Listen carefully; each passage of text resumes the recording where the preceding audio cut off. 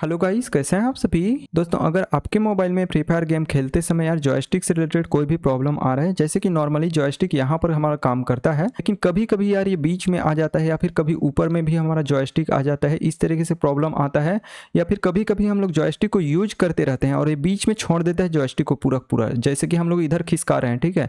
अचानक से हमारा सेंसिटिविटी काम करना शुरू कर देगा, या फिर हम लोग किसी बटन को क्लिक कर रहे हैं, जैसे कि रनिंग का बटन हम लोग क्लिक कर रहे हैं, उसी बीच में वहाँ पर जॉयस्टिक आ जाएगा, इस तरीके का बहुत सारे जॉयस्टिक से रिलेटेड प्रॉब्लम रहता है। ऐसा कुछ भी प्रॉब्लम आ रहा होगा गाइस इस वीडियो को आप लास्ट तक देख लीजिएगा। और अगर ये वीडियो आपके लिए हेल्पफुल रहेगा दोस्तों लाइक ज़रूर से कर लीजिएगा और चैनल को सब्सक्राइब करके बेल आइकन में से आल नोटिफिकेशन को ऑन कर लीजिए। तो चलिए वीडियो शुरू करते हैं। तो दोस्तों फ्री फायर में जॉयस्टिक का प्रॉब्लम आने का कई कारण हो सकता है। पहली बात तो मैं आपको बोलूँगा कि अगर आप डिस्प्ले को चेंज कराए होगे, जैसे आपका नया मोबाइल नहीं होगा, एक आध बार आप रिपेयर कराए होगे डिस्प्ले को तो उस कंडीशन में एक बार अपने डिस्प्ले का टच को आपको चेक करना पड़ेगा। चेक कैसे करना है, उसको मैं सबसे आपको बता देता हूँ, उसके बाद आपको फ्री फायर में प्रॉब्लम जो रहता है, उसको सॉल्व करने का तरीका बताऊँगा। तो सबसे पहले आपको प्ले स्टोर ओपन करना है और यहाँ पर टच स्क्रीन टेस्ट करके एक एप्लीकेशन आपको मिलेगा, इसको आपको इंस्टॉल करना है। इंस्टॉल करके इसको आप ओपन करोगे दोस्तों तो इसमें आपको दो टेस्ट करना है। पहली बात है, यहाँ पर मल्टी टच का ऑप्शन मिलेगा, उसको आपको क्लिक करना है और यहाँ पर अपना फिंगर एक से दो दो से तीन लगा करके आपको देखना है, तीन चार फिंगर आपके में काम कर रहा है कि नहीं। अगर ये सब काम कर रहा है मतलब आपके में जो टच स्क्रीन लगा है, वो मल्टी टच को सपोर्ट कर रहा है, ठीक है? और दूसरा टेस्ट आपको करना है।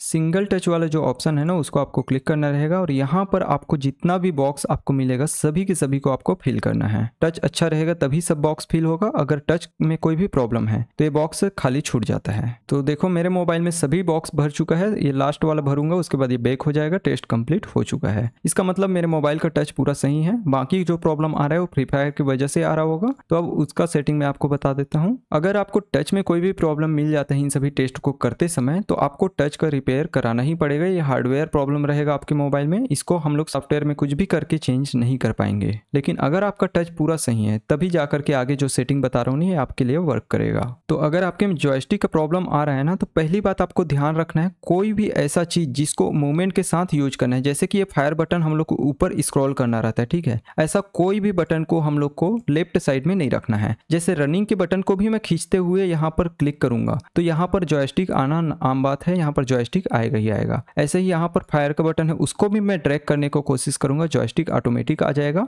ऐसे ही ये सब हो गया, ठीक है? तो अभी के समय में यार काफ़ी सारा बटन ऐसे आ चुका है, जैसे कि ग्लू वाल लेने वाला स्क्रॉल वाला जो बटन है ना, वो लेफ़्ट साइड में रखेंगे, उसमें भी प्रॉब्लम आता है, क्योंकि ग्लू वाल को सेलेक्ट करना रहता है। और ऐसे ही बहुत सारा स्विच है, जिसको आपको ड्रैग करके सेलेक्ट करना रहता है। जैसे मेडी किट को इस तरीके से ड्रैग करके हम सेलेक्ट करेंगे तो लेफ़्ट साइड में नहीं होना चाहिए। उसको ड्रैग करते समय कभी कभी गलती से ये टच हो जाता है तो ये जॉयस्टिक पूरा लेफ़्ट साइड में रहता है। यहाँ सेंटर से ना पूरा लेफ़्ट साइड में हर जगह जॉयस्टिक रहता है। इधर भी जॉयस्टिक है, इधर भी है, सब जगह है। तो कुछ भी चीज़ को आप ड्रैग करोगे तो वहाँ पर जॉयस्टिक ऑटोमेटिक आ जाएगा। दूसरी चीज़ का ये ध्यान रखना है कि लेफ़्ट साइड में जितना भी स्विच आप रखोगे, उसको थोड़ा साइज़ को बड़ा रखना है। इतना बड़ा रखना है कि आप टच करो तो वो बटन ही टच हो। बटन के अलावा अगर और कहीं टच होगा तो ऑटोमेटिक वहाँ पर जॉयस्टिक आ जाएगा। इसी कारण से बोल रहा हूँ बटन के आसपास में कहीं भी टच नहीं होना चाहिए, सिर्फ़ बटन ही क्लिक होना चाहिए। तो इतना साइज़ उसका रखना है। तीसरी बात यार जॉयस्टिक के साइज़ को उतना ज़्यादा बड़ा नहीं रखना है आपको, ठीक है? मैं आपको दिखा देता हूँ इसका साइज़ कितना होना चाहिए, जो डिफ़ॉल्ट साइज़ है, यही सबसे अच्छा रहता है। फोर्टी परसेंट वाला साइज़ होना चाहिए। और चाहेंगे तो जॉयस्टिक को आप छुपा सकते हैं इधर, कोई भी प्रॉब्लम नहीं है उससे, क्योंकि जॉयस्टिक लेफ़्ट साइड सभी जगह रहता है, ठीक है? उससे प्रॉब्लम नहीं होगा। तो इसको मैं छुपाना ही ज़्यादा अच्छा लगता है, क्योंकि यहाँ पर पूरा क्लीन दिखता है मतलब साफ़ दिखाई देता है। अब यहाँ पर मैं क्लिक करूँगा जॉयस्टिक वैसे ही काम करेगा जैसे पहले कर रहा था। लेकिन बस इसके साइज़ को आपको ध्यान रखने की ज़रूरत है। और अगर आप थ्री फिंगर और फोर फिंगर खेलते हैं, और उस बीच में आपके में प्रॉब्लम आ रहा है तो उसका मैक्सिमम चांस यही है कि आप अपने बाकी फिंगर से जो टच कर रहे हैं, वो एकदम करेक्ट बटन पे टच नहीं होकर उसके आसपास में टच हो रहा है, जिसकी वजह से जॉयस्टिक का प्रॉब्लम आ रहा है। तो लेफ़्ट साइड में आपको थ्री फिंगर टू फिंगर नहीं खेलना है, आपको राइट साइड में ही ज़्यादा फिंगर का यूज़ करना है, इसमें कोई भी प्रॉब्लम नहीं आएगा। और अगर आपका हाथ ऐसे ही बैठ चुका है तो उस कंडीशन में आपको अपने फिंगर को परफेक्ट जगह पे टच करना पड़ेगा। तो इन्हीं सब बेसिक टिप्स को आप ध्यान रखेंगे दोस्तों, आपका प्रॉब्लम हंड्रेड परसेंट सॉल्व हो जाएगा। और लेफ़्ट साइड में ऐसे बटन को आप रख सकते हैं जिसको कम से कम टच करना पड़े। जैसे सेटिंग का बटन लेफ़्ट साइड में मैं रखा हूँ, यहाँ पर इमोट दिखाने का बटन भी मैं लेफ़्ट साइड में रखा हूँ, क्योंकि ये गेम प्ले का हिस्सा नहीं है। गेम प्ले के दौरान इसको क्लिक नहीं करना रहता। और गेम प्ले के समय में जल्दी जल्दी जिसको क्लिक करना रहता है, उसको राइट साइड रखेंगे तो आपके लिए ज़्यादा बेनिफिट रहेगा। सो आई होप दोस्तों आज की इस वीडियो में मैं जितना टिप्स बताया हूँ आपके लिए हेल्पफुल होगा। अगर आपको ये वीडियो अच्छा लगा होगा दोस्तों लाइक ज़रूर से कर लीजिएगा और चैनल को सब्सक्राइब करके बेल आइकन में से ऑल नोटिफिकेशन को ऑन कर लीजिए। तो चलिए यार, अब मिलते हैं हमारे किसी और वीडियो के साथ। अभी के लिए सभी को बाय बाय